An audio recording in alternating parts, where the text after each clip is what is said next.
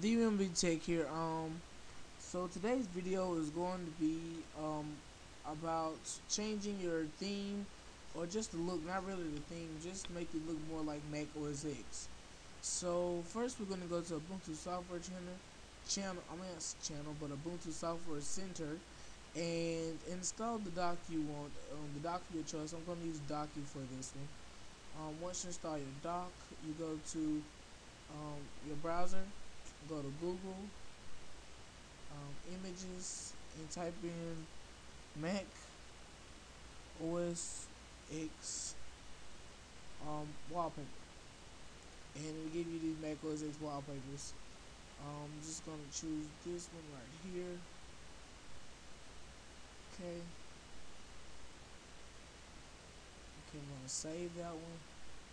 Save the image. I'm to save it to my desktop save. Um, okay. It's now saved to desktop. You click on it. It opens the picture up. Set its background. And it's now my background. So now we need to move. Right click right here. Lock. I mean, um, unlock it from the panel. Move it up here. It is your window um changer or call that. Um, then you're gonna delete this panel, delete this panel. You right click it, click delete this panel. The panel is not deleted. And this right here is where the dock comes in. And you know macOS has a dock, so you choose your dock. Okay, your dock should come up. Um, you can add stuff to your dock if you want to. Um, add a few stuff to my dock.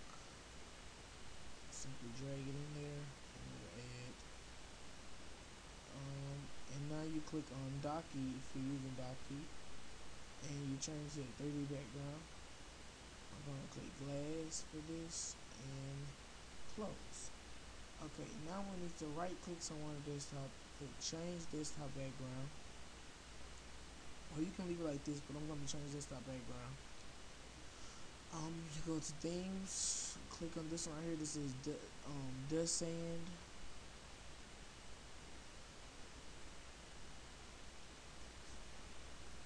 And now it looks more like Mac OS X. Um then we take care peace. See you later